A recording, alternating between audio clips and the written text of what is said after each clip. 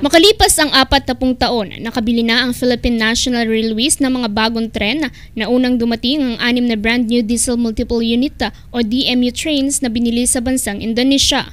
Pinangunahan ito ni Department of Transportation or DOTR Secretary Arturo Tugade at Philippine National Railways or PNR General Manager June Magno sa arrival ceremony nito ikalabing isa ng Disyembre, Miyerkules na ginanap sa South Harbor, Manila. And today, we are bearing witness to that reality and that request that we should modernize the equipment. Today, we will be accepting formally the delivery of two trains with uh, three coaches each, a total of six. But that is we are expecting to have a total of 40 operating coaches all in all, to be able to service the requirements of this funded route from 17 to 36. But does it mean we will stop at 36? Knowing General Lastimosa and June Magno, they will not stop at 36. And so it finds time, reason, and right and reason to increase the capacity by adding trains. And therefore, to John Magnan, to chairman of the Council of the National Union of T.M.R., accept my gratitude and congratulations.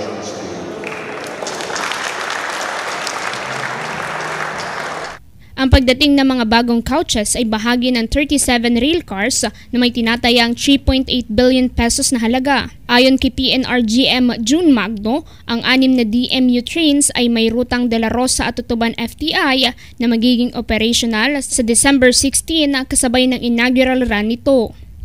Sinabi pa ni Magno, kung sakaling maging operational na, 8 hanggang 10 biyahe kada araw ang madadagdag sa serbisyo ng PNR at halos 750 hanggang 800 na mga pasahero sa couches ang kaya nito.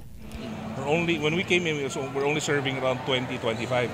Um, we want to increase that ngayon around 70 but we really want to reach 120, 150 man lang. Diba?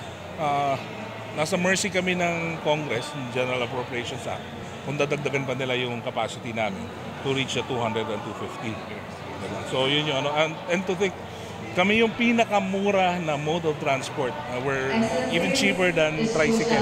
We're 1 peso 7 cents per kilometer lang. Pinasalamatan naman ni DOTR Secretary Tugade si PNR General Magno dahil sa seryosong serbisyo nito at magandang pamamalakad sa Philippine National Railways kung saan sa matagal na panahon, ngayon lang aniya nakabili ang PNR ng mga brand new na tren sa termino ni Pangulong Rodrigo Duterte. Iginiit ni Tugade sa taong 2020 hanggang 2021 ay tuloy-tuloy na ang serbisyo ng Bicol Express kung saan ang biyahe nito ay mula Kalamba hanggang Sorsogon. Tama mo si June Magno. Sinabi niya, noong panahon ng Commonwealth, ang populasyon ng railway station natin ay dalawang libo, more than 2,000 kilometers. The total kilometers of the railway station in the Republic of the Philippines is barely 77 kilometers. While other countries in this domain have increased and improved on their population of railways, tayo lumiit. And therefore, right now what we are trying to do is to achieve a working ideal number of kilometers so that we can achieve the objective of President Duterte in wanting and wishing to give the Filipino life a comfortable life. And so today, PNR as we speak, we're not just accepting these two coaches, these two train sets with six coaches. We're not just funding stations, but let me tell you this. By 2021 June month we will have partial operability on what I term as the Bicol Railways, from Calamba to Legazpi. We hope that this will be operational, partly operational by the end of 2021.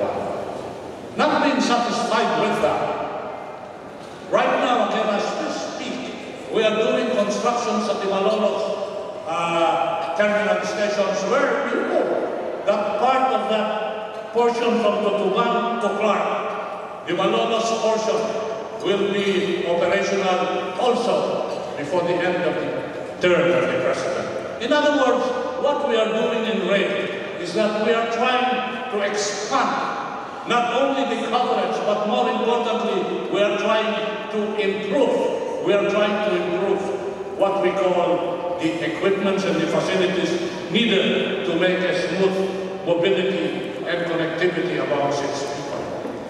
The icing on the cake, in so far as the rail sector is concerned, by this month, by this month, we shall be uh, mobilizing the start of the construction of the Manila subway. Samantala, inaasahan pa ang pagdating ng apat pang set ng tren sa buwan ng January 2020. Mula dito sa Manila, Eren Florerita, Beach TV News.